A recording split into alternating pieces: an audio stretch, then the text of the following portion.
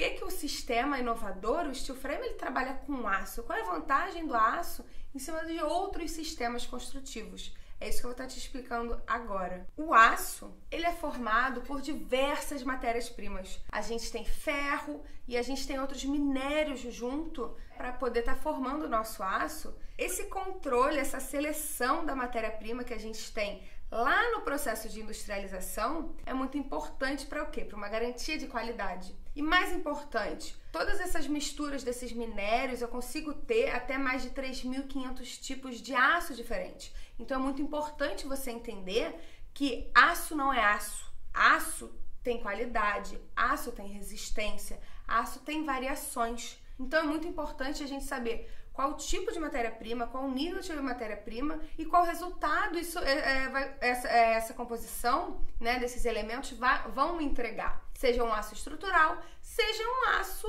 comercial, que não tem função estrutural. Então a gente tem diferentes tipos de aço. Por isso que é muito importante você estar tá trabalhando com um sistema industrializado, porque você tem esse controle e tem essa precisão. Falando um pouco de precisão, né? Eu vou puxar um gancho por uma característica do aço que eu particularmente gosto muito. Quando a gente trabalha com aço, a gente tem uma precisão, a gente tem uma garantia com relação à resistência muito superior a outros sistemas, como é no concreto, como é na madeira, né? Esses sistemas tradicionais. No aço, para você ter uma ideia, a gente trabalha com coeficiente de segurança bem inferior ao que a gente trabalha em outros sistemas estruturais com outros materiais. Isso te traz o quê? Te traz maior eficiência do projeto, eficiência na utilização do material. Isso faz com que você gaste muito menos material que você poderia estar gastando se você estivesse utilizando outros materiais. Então você tem um, proje um projeto, você tem uma obra muito mais eficiente graças ao tipo de material que você está utilizando.